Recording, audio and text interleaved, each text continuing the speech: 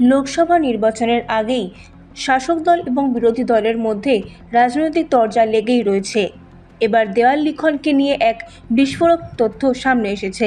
দুর্গাপুরে দেওয়াল লিখন নিয়ে বিজেপি এবং তৃণমূলের মধ্যে রাজনৈতিক তরজা শুরু হয়েছে। দুর্গাপুরে এক দেওয়াল লিখনে হাওয়াই চপ্পলের নিচে মোদি, অমিত, এমন কুরুচিকর মন্তব্য লেখা হয়েছে। এই কুরুচিকর মন্তব্যের প্রতিবাদে অভিযোগ তুলে নির্বাচন কমিশনের দ্বারস্থ হয়েছে বিজেপি। বিজেপির আসানসোল সাংগঠনিক জেলার মুখপাত্র এই নিয়ে তার মন্তব্য প্রকাশ করেছেন। বিষয় হচ্ছে যে পশ্চিমবাংলা কি ভারতবর্ষের অঙ্গ নয়। এখানে যেভাবে দেয়াল লিখনে ভারতের মাননীয় প্রধানমন্ত্রী এবং স্বরাষ্ট্রমন্ত্রীকে নিয়ে যেভাবে ব্যঙ্গ করে ওরা লিখেছে চটির নিচে দেশের স্বরাষ্ট্রমন্ত্রী এবং প্রধানমন্ত্রী তার মানে কি এরা দেশটাকে মানে না?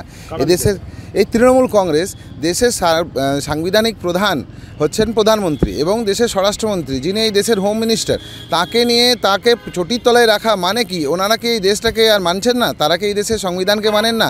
আজকে সংবিধান প্রণেতা ডক্টর ভীমরাও আম্বেদকরের জন্মদিন। আজকের দিনে আমরা এই কমপ্লেনটা করলাম, কারণ এইখানে পশ্চিমবঙ্গ এখন আইনের ঊর্ধ্বে চলে গেছে। পশ্চিমবঙ্গ সরকার এখন ভারতীয় সংবিধান এবং ভারতীয় সরকারকে মেনে চলে না।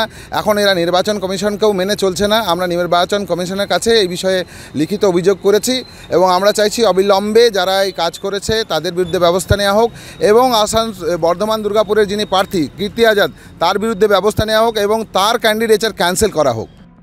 বিজেপির মুখপাত্রের মন্তব্যের পরিপ্রেক্ষিতে তৃণমূল নেতৃত্ব তার নিজস্ব মন্তব্য দিয়েছেন। এখন বিজেপি নির্বাচন কমিশনের কাছে অভিযোগ করতেই পারে, এ নিয়ে আমার বলার কিছু নেই।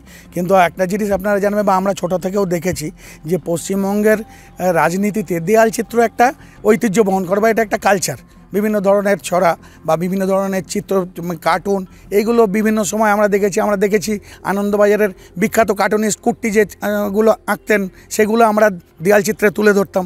এগুলো একটা কালচার এবার এগুলোতে যদি কেউ মনে করে যে কুড়িচিকর বা কিছু, এগুলো টোটালটাই হয় সিম্বলিক এখানে কারোর নাম দেওয়া থাকে না, এটা সিম্বলিক যে এটা একটা মানে একটা সাধারণের কাছে একটা বার্তা পাঠানো হয়।